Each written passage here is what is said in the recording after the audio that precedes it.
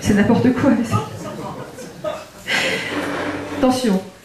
Euh, voilà, et donc certains médicaments n'avaient pas donné, ont montré une efficacité. Je n'ai pas les noms, j'ai absolument aucune. J'ai une mémoire fabuleuse, mais pas des médicaments comme par hasard. Je les oublie toujours. Allez savoir pourquoi. Peut-être. Ouais, mais moi je pense que c'est euh, vieux. Je suis tombée dedans quand j'étais petite, c'est comme un Bélix. Peut-être parce que j'ai été vaccinée contre le BCG, que j'ai passé euh, six mois dans un sanatorium pour, euh, pour tu vois, à 4 ans, voilà. Peut-être. Je pense que jamais on m'a mis ça en mots, mais je pense que quand même ça a décidé beaucoup de choses qui sont ressorties quand je suis devenue, quand je suis devenue adulte. Oui.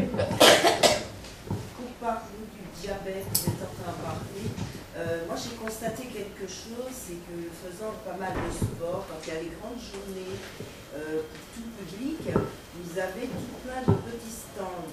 Mhm. Et dans ces stands, maintenant, ils ont un appareil, même si vous dites que vous n'êtes pas diabétique, on vous dit Ah, mais on peut prévoir si vous avez une diabétique. Ah, mais c'est ça la vraie prévention. Actuellement, c'est ça la prévention c'est convaincre les gens qu'ils vont être malades. Dans leur seconde vie. C'est pas votre propos, mais j'aimerais que vous disiez quelque chose sur l'hypertension à un moment ou à un autre. Est-ce que vous avez prévu après dans la discussion Non, non, en fait, j'ai pas prévu de parler des maladies précisément. Hein. Je fais juste des exemples par rapport au... Parce que l'hypertension, c'est exploité. Ah, mais on est bien d'accord. Comme le cholestérol. Alors, qu'est-ce que vous pourriez nous peut-être nous dire un petit message concernant l'hypertension? Pas concerné directement, mais un petit message parce que les gens sont très déstabilisés. On leur dit vous allez avoir un AVC, vous allez avoir. Euh, bah, moi, je, moi, je pense que je peux que vous redire des choses qui vous ont déjà été dites sans doute, enfin que vous connaissez déjà. C'est-à-dire qu'une maladie, elle arrive à un moment déterminé. Qui peut décider qu'elle aura lieu toute la vie? Personne surtout pas le médecin. Donc en fait, on peut très bien à un moment donné faire un incident euh, d'hypertension et qui se résorbe par la suite. On peut avoir aussi 16 ou 17 de tension sans qu'il y ait de complications, mais on peut aussi avoir des complications. Et je veux on ne peut pas décider que tous les gens qui à un moment donné font un, épisode d'hypertension vont obligatoirement faire un AVC. Puisque moi, euh, après, je, vais parler de mon expérience à moi, hein, de ma vision un peu euh, fouille merde. quand j'étais à l'hôpital, parce que la... Merci, merci, ça fait du bien d'en parler. que moi, mes enfants, ils me disent on en va jusque-là, alors je suis obligée de me taire chez moi.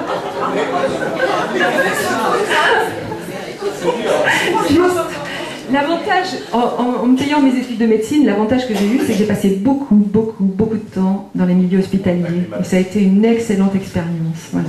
Après, c'est toujours amusant parce qu'on vous dit toujours, quand vous êtes, euh, par exemple, homéopathe, que c'est parce que vous connaissez pas bien la médecine. Alors, ça me fait toujours beaucoup, beaucoup rigoler. Et une des, une des choses qui m'a interpellée quand j'étais en quatrième ou en cinquième année de médecine et que j'ai fait un stage en cardiologie, et 95% des gens hospitalisés en service de cardiologie sont des gens qui sont sous antihypertenseurs, sous anticholestérolémiants, sous euh, euh, anti... Eh mais oui Et alors, et, moi je, suis bête, mais pourquoi ils sont là alors? C'est veut dire que les médicaments ils marchent pas? Faut se poser la question quand même. Moi, dans mon idée, je vous ai dit, j'étais très naïve. Hein. Donc, euh, je suis un tout petit peu moins, mais bon je, m'attendais à trouver en cardiologie des gens qui justement ne prenaient pas de médicaments.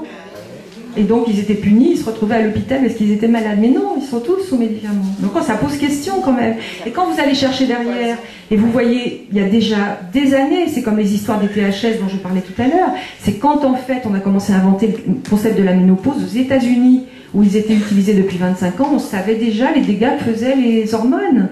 Et pourtant en France, on a dit comme toujours, comme pour les vaccins, mais non, non, les Français, c'est pas pareil. Bah oui, les Français, vous savez, c'est ceux, ils ont un coq, et le coq, il chante les pieds dans la merde, et tout va bien, quoi. Les Français, c'est ça. Mais le Français, c'est ça. Malheureusement, c'est ça. C'est ça qui est difficile. Hein, hein. Tout va bien, Madame la Marquise. Donc on savait déjà. Dans l'histoire de l'hypertension, voilà, donc les médicaments, on, va retrouver le même système. C'est-à-dire qu'en fait, il y a déjà des études qui ont été publiées disant qu'on ne modifiait pas, et à plus forte raison avec les statines, on ne modifie pas le devenir des gens qui sont sous traitement. On modifie la façon dont ils meurent. Moi, je préfère choisir ma façon, enfin. Ok? C'est-à-dire qu'en fait, la durée de vie est la même, mais là où, par exemple, les gens auraient fait euh, peut-être, euh, je sais pas moi, un AVC, ils vont faire une hémorragie. Euh, vous comprenez ce que je veux dire? Ils n'ont pas la même... Alors, en plus, c'est quand même compliqué de démontrer ça, hein, parce que moi, les, justement, la seule chose qui se veut scientifique en médecine, et qui peut l'être, c'est les statistiques. On va reparler de comment c'est venu ça. Donc c'est la seule chose scientifique en médecine. Quand on sait comment on peut faire des, statistiques, on peut leur faire dire tout ce qu'on veut, c'est quand même un peu douteux. Donc je ne sais pas non plus comment ces études ont été faites, mais en tout cas je sais que du coup, il y a déjà eu depuis 15 ans ou 20 ans des interrogations sur la réelle efficacité des traitements antihypertenseurs, euh, cardiovasculaires, etc. Je ne dis pas qu'il faut rien faire. Hein j'ai un discours qui est peut-être un peu... Mais il faudrait qu'il y ait au moins quelque chose de réfléchi. Or aujourd'hui, les gens qui vont pour une petite tension, euh, ils ont 16, ils vont peut-être avoir 16 parce qu'à un moment donné, cette petite hypertension peut accompagner des choses qu'ils vivent à côté, ou des chocs qu'ils ont à côté, et donc ils vont avoir un passage avec lequel ils vont avoir une petite... Voilà. Et en fait, ça peut être la conséquence d'un état, d'un autre état qu'il faut aller travailler. Mais cet état-là, on ne s'interroge pas dessus et on leur dit cesse, c'est trop antihypertenseur. Les trois quarts du temps, ils sortent avec un antihypertenseur, un diurétique. Quand ils n'ont pas, s'ils ont un peu le cœur accéléré, euh, et s'ils n'ont pas un bêta-bloquant, on va leur donner un truc pour réguler le cœur. Et c'est parti. Parce que de là, ils vont avoir des troubles rénaux. Les troubles rénaux vont entraîner, puis après hépatique, etc. Et on est parti pour un tour dont il finit tout, rarement très très bien. Mais si, si le médicament est pensé et réfléchi comme étant la nécessité, c'est ok, mais ce n'est pas le cas. Puisque aujourd'hui on applique des protocoles. Parce qu'on peut, je veux dire, quand même, les médicaments, je ne vais, pas tout jeter à la, pas tout jeter à la poubelle, même si je suis complète. Vous avez compris, je suis moi je ne prescris pas, et bon voilà. Mais je peux admettre dans la théorie qu'en fait, à un moment donné, il est nécessaire que la personne soit protégée. Ce qui ne va pas, c'est qu'on décide toujours que c'est déterminé euh, de façon indéfinie.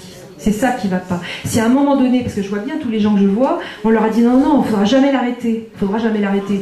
On a vu d'ailleurs euh, avec les, on vu avec les histoires des, antidépresseurs et on l'a vu avec l'aldol, pas l'aldol, comment il s'appelle? L'alcyon, par exemple. Moi, je me souviens quand ils ont sorti l'alcyon, qui était un somnifère. Euh, on donnait l'alcyon aux gens qui étaient dépressifs, parce que c'est surtout ceux-là qui ont été... Euh, euh, parce que, à mon sens, donner de l'alcyon à quelqu'un ou à un somnifère quelconque, à quelqu'un qui vit beaucoup de stress dans sa vie, c'est pas le bon médicament à donner. Voilà. Donc, mais par contre, dès qu'il y a un petit truc et que les gens dorment mal, on leur colle un somnifère. C'est aberrant. C'est aberrant. Même sur le plan de la chimie, c'est aberrant. Donc, quand on leur donnait ce médicament, on leur disait non, ça sera pour toujours. Faut plus l'arrêter. Voilà, donc les gens, il ne faut plus l'arrêter. Qu'est-ce qui s'est passé? C'est que l'alcyon, qui à l'époque était déjà interdit en Angleterre parce qu'il avait entraîné des accidents mortels, dans plusieurs pays avait été interdit, mais pas en France, parce que tout le monde sait, les Français sont vachement forts. Ah, ils supportent vachement mieux les médicaments, parce qu'ils ont de la chance. Donc, on a continué les prescriptions de l'alcyon jusqu'à ce qu'il y ait effectivement une dizaine de morts et puis des gens qui avaient perdu les pédales, il y a eu quelqu'un qui est devenu agressif, enfin, comme avec les antidépresseurs, et là, brutalement, du jour au lendemain, ils l'ont arrêté. Alors, je trouve ça génial. Je trouve ça génial. Si les gens entendaient ce que ça veut dire, puisqu'un jour on leur dit vous ne pourrez pas faire ça, il faut absolument pas l'arrêter, comme s'ils allaient risquer quelque chose à l'arrêter, et tout d'un coup, puisque le médicament a été interdit, ils peuvent l'arrêter. Tiens, c'est intéressant. Moi je trouve que c'est une information intéressante. Mais les gens ils ne l'entendent pas. Donc après ils disent ah ben oui mais j'ai plus rien maintenant, euh, alors il faut j'attends qu'ils puissent m'en donner un autre. Bon, j'entends des messages, mais voilà. Bref. Donc. Euh, oui. dîner, comme on dit jusqu'à midi. Oui. Pause.